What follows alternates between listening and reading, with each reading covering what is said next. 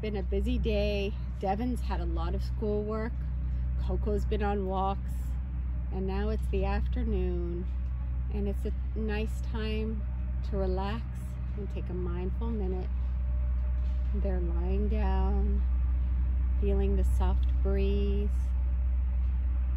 listening to the leaves rustling in the grass, feeling the sun slowly move up and down their body, and breathing in and out, in and out, and being thankful to have a companion, to have a mindful minute at the end of each day.